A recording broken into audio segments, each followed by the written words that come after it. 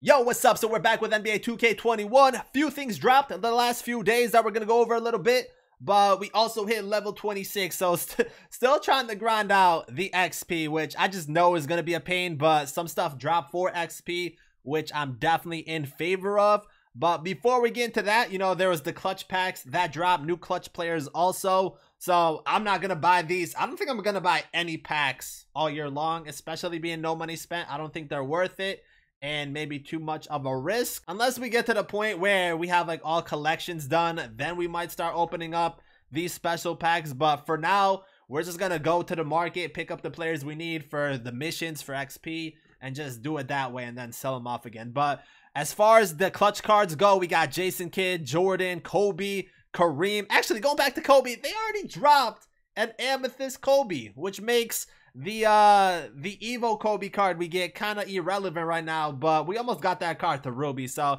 I don't know. Obviously, getting an Amethyst Kobe card definitely gonna be really nice. We got Rip Hamilton right here, Ray Allen, Toni Kukoc, Robert Horry, Kawhi Leonard, Trevor Ariza, Shane Battier, Mario Elie, and John Paxson. So the Emeralds are okay. The Sapphires, Kawhi, you got to do a mission with him. Big shot Bob right here. And then Ray Allen. Ray Allen probably could be the best card in this set as far as like lower end guys if you if you consider ruby low but the amethyst guys definitely look pretty nice. Then you got jason kidd. So yeah we're not gonna open up these packs just because i don't think they're worth it. And one one pack costs 17k like i ain't spending i'm not spending 17k on a pack. Absolutely not. But it is a guaranteed but knowing me opening up a guaranteed one we would get in emerald. So let's go to the the xp mission. So this is one thing i do like. We'll kind of go over this a little bit but still you know xp is very valuable and kind of crucial. And I, I still think you know like doing the dailies every day gotta do them and doing the moments you kind of have to do them they haven't dropped any the last two days which is kind of surprising.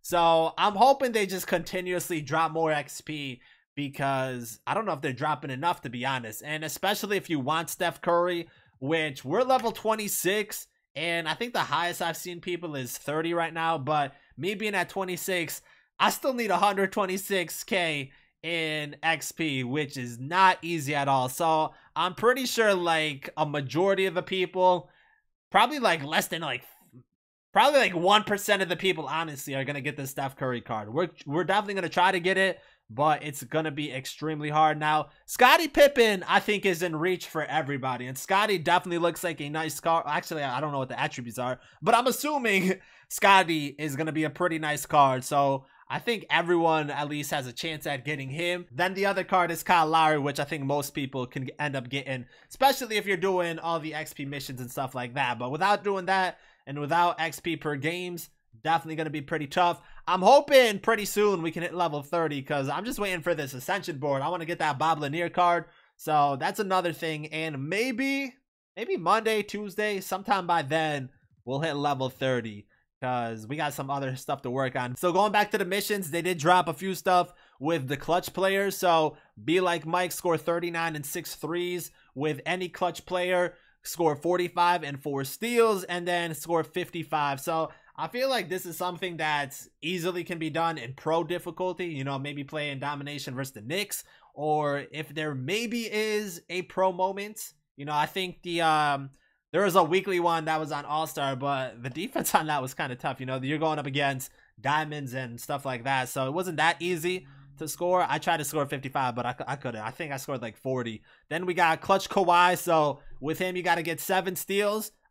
I'm actually surprised they didn't do it like in one game because some of these missions have been crazy. So moving forward, I want to see more like this where it's kind of open and you have as many games as you need to do it. i rather have it like this than it be, you know, get like seven steals in a game or a triple double in a game. I think those are a little bit more difficult. But another one for Kawhi gets 16 rebounds and then score 41 points.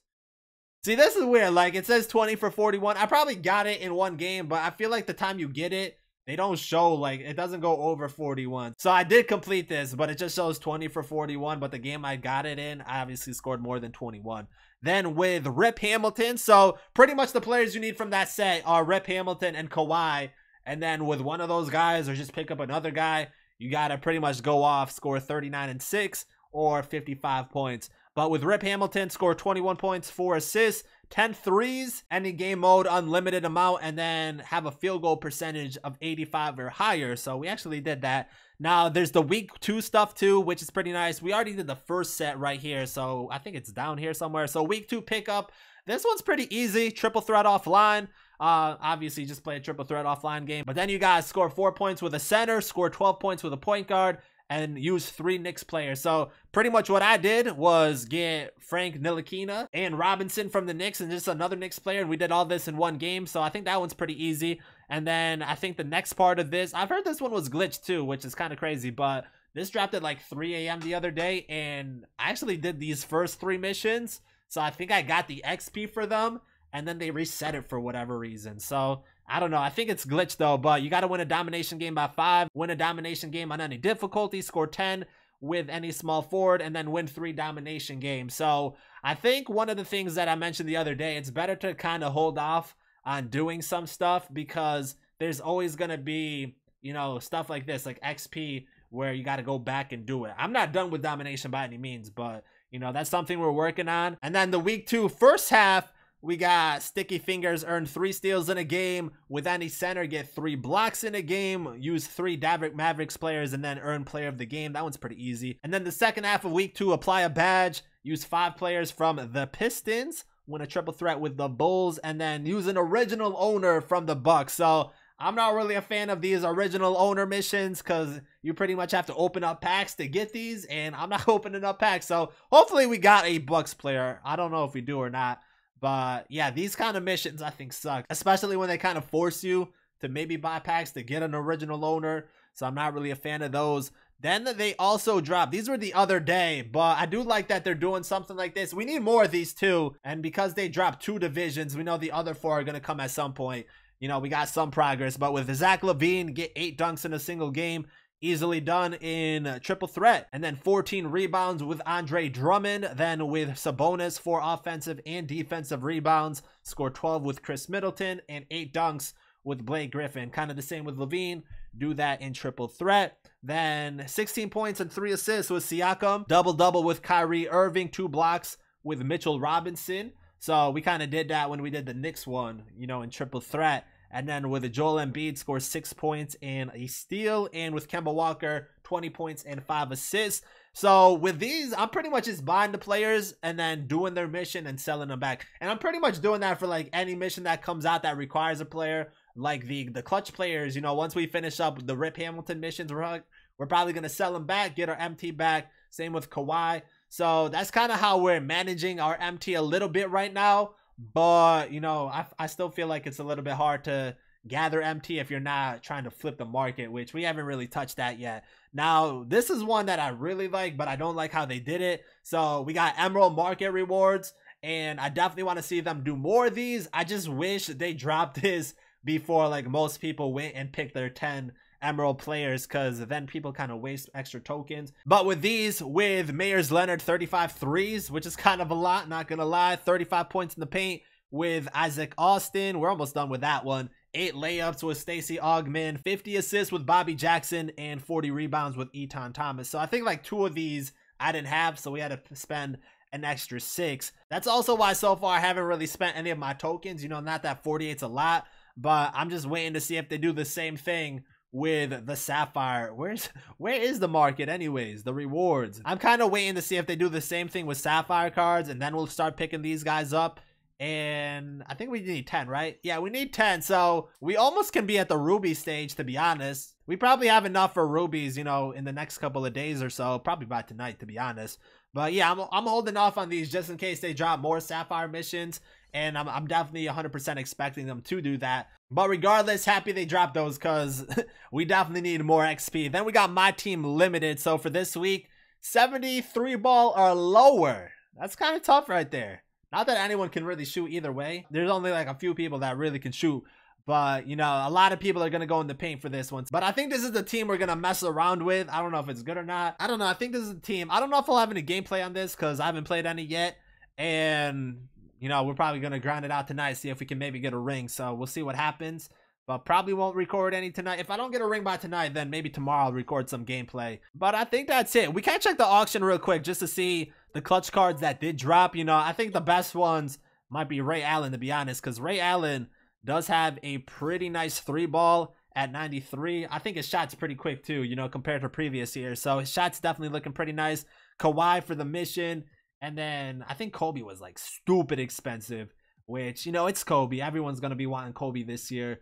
Um, anyone else that's like, let me let me just look at the amethyst cards. So straight amethyst cards. We got Jordan right here. What's his what's his mid range? Mid range at 85. Three points kind of low at 69.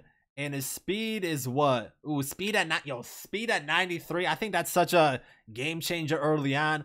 The first few Kobe's, I think, sold for like 400k. Him being at 100k right now is not bad, but he looks pretty nice. 83 mid, 83 3, and then speed wise, what's he at? 88. So he's definitely gonna be pretty nice. And then Kareem, Kareem, I feel like always is gonna be pretty good and he got the inside game locked down. So I don't know like if we'll ever ever be able to use him at any point. But yeah, we might we might wait on these guys. We might wait on these guys. Not that I can afford them anyways. And then Jason Kidd. Wow, Kidd's kind of cheaper. I mean, I guess it makes sense that Kidd's cheaper than Jordan and Kobe. But Kidd, 84 mid, 77 3. Does he got good speed? He got to be, oh, 93 speed. Oh, he going to be a problem. I don't know why he's so cheap. I don't know why he's so cheap. Maybe his jump shot's not that good. But like attribute wise, speed, I like having the speed. I like having speed. So I think he could be pretty nice.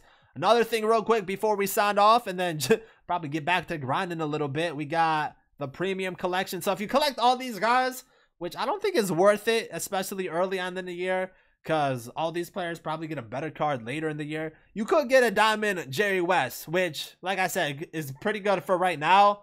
But Jerry West definitely getting what is it, a pink diamond, a galaxy opal, dark matter, you know, I don't even know what the, the other tiers are, but he's definitely going to get a 99 card at some point. So, I don't know. I don't think it's worth locking in these cards just to try them out, but he definitely could be pretty good. But that's pretty much it. So last thing for me, we're probably going to grind out my team limited just to try getting that ring, but we're almost done with regular domination. So maybe when I finish this one up, We'll get some gameplays up with Nick Van Exel at the minimum and just try them out in unlimited. But this like whole next week, my main focus is to try to finish up at least historic. Do I want to go his? No, I have to do historic first. Yeah, I have to do historic first anyways, at least 33. But I might do all of historic and then depending on like the scheduling and stuff, we might be able to get Mike in. I definitely want to finish domination though sooner rather than later just to get it out of the way.